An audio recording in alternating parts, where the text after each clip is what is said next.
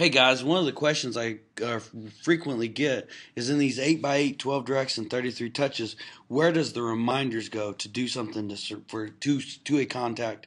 Um, for instance, right here, if I go into one of these 33 touches and look at this uh, 10 Days of Pain program, at the end of it, there's actually a last action item after all the contacts have gone out. It's a to do and it's add this contact to a 33 touch. The problem is, is a lot of people don't know where this actually goes. Does it get emailed to you?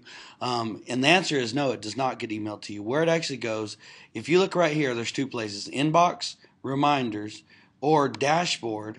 I think everybody should be checking their dashboard each day. It's kind of like the central hub of the Edge system because you see the new contacts you get, you see any new messages you got, and then also at the end you would see the reminders. So you click your view all and then if you wanted to filter it to just the to dos, you could look at it. Reminders are going to be the things like you set for a contact. You get a new contact in, you set yourself three reminders to call them, to do this, to do that. But it's also these to dos that come off of that. So please review the May edition of This Month in Real Estate. This contact needs to be added to an 8x8 campaign. This contact needs to be added to an 8. These are where those reminders come. So again, the place they come is if you go to inbox, reminders you can find them right there. Then your tab will be right next to the messages you get through eEdge. Um, but this is going to be your reminders of all the things that you set up. So those to do um, touches or parts of the 8x8 and 33 touch campaigns, that's where they go. So they don't get emailed to you.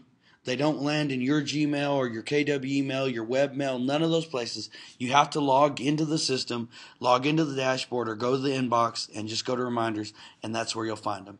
I hope this was helpful. Remember, the reminders are both for the reminders that you set with the contact, um, but then those contact, those reminders that are outside of that one individual contact, this they they both go here. So I hope you found this helpful. Um, if you got any questions, uh, contact a member of the staff anytime.